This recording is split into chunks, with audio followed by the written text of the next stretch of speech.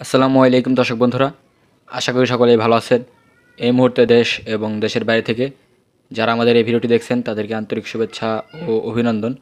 তো বন্ধুরা, আজকের এই ভিডিওতে আমরা আলোচনা করব যে কি পরিচর্যা করলে বা কি খাবার খাওয়ালে আমাদের দেশি মুরগির বাচ্চা বা দেশি মুরগি দ্রুত বড় হবে বা ওজন বৃদ্ধি পারবে। তো বন্ধুরা, সম্পূর্ণ ভিডিও আপনারা না টেনে দয়া করে সম্পূর্ণ দেখবেন, তাহলে বুঝতে পারবেন তো চলুন কথা না বাড়িয়ে মূল ভিডিওটি শুরু করা যাক। তার আগে বলে নেই, যারা আমাদের চ্যানেল নতুন আছেন, তারা আমাদের চ্যানেলটি সাবস্ক্রাইব করে পাঁচ টাকা বেল বাটনটি বাজিয়ে দেবেন।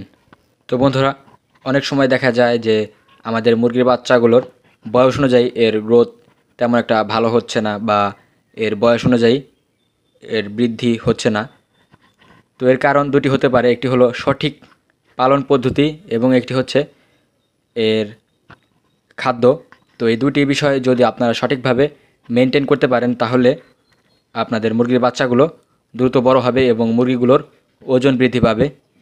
তো সঠিক পালন পদ্ধতিতে মুরগির বাচ্চাগুলোকে ব্রুডিং করার সময় ভালোভাবে তাপ দিতে হবে, তারপর সময় মতো খাবার এবং পানি দিতে হবে, নিয়মিত লিটার পরিবর্তন করতে হবে এবং সময় মতো ভ্যাকসিন প্রদান করতে হবে।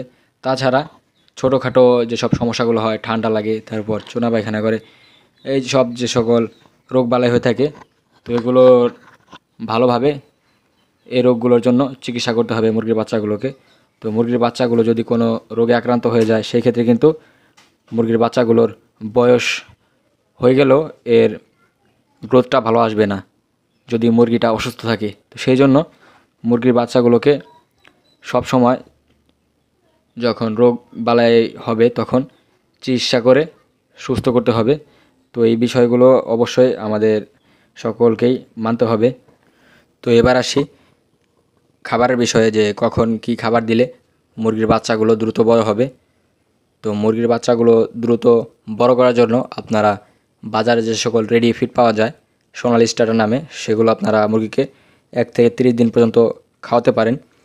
তো বন্ধুরা একদিন বয়সী মুরগির বাচ্চাগুলোকে স্টার্টার ফিড খাওয়ানোর কারণ হচ্ছে যখন এই দেশি মুরগির বাচ্চা ডিম থেকে ফুটে বের হয়, তখন এরা আকারে খুব ছোট হয়। অন্য সকল মুরগির বাচ্চা থেকে দেশি মুরগির বাচ্চা তুলনামূলকভাবে ছোট হওয়ায় এরা বড় দানাদার খাবার ঠোঁট দিয়ে তুলে খেতে পারে না। তো এই জন্যই এদেরকে তখন সোনালি স্টার্টার খাবার খাওয়াতে হয়।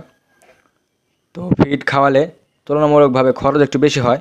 কিন্তু তবুও মুরগির বাচ্চাগুলোর গ্রোথ অনেক ভালো হয়। তো আপনারা বাজারে যে সকল রেডি ফিড পাওয়া যায়, সোনালি স্টারার নামে, সেগুলো খাওয়াতে পারেন মুরগির বাচ্চাগুলোকে ছোট অবস্থায়।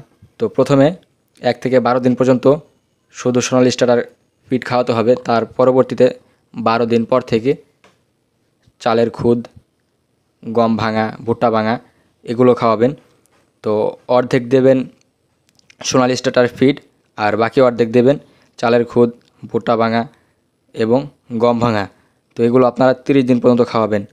তো তিরিশ দিন পর্যন্ত খাওয়ালে আপনাদের মুরগির বাচ্চাগুলো দ্রুত বড় হবে। কারণ এই সোনালি স্টার্টার ফিডে মুরগির দ্রুত বড় হওয়ার জন্য যে সকল পুষ্টি উপাদান থাকা দরকার, তা সবই থাকে। তো আপনারা এগুলো খাওয়াতে পারেন। তো তিরিশ দিন পরে থেকে আপনারা গ্রোয়ার নামে যে সকল ফিড পাওয়া যায়, সেগুলো খাওয়াতে পারেন। তো সেগুলো খাওয়ালে মুরগির ওজন অনেক বৃদ্ধি পাবে।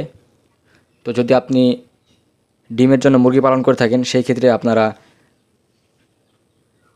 লেয়ার লেয়ার ওয়ান নামে যে ফিড পাওয়া যায়, সেগুলো খাওয়াতে পারেন।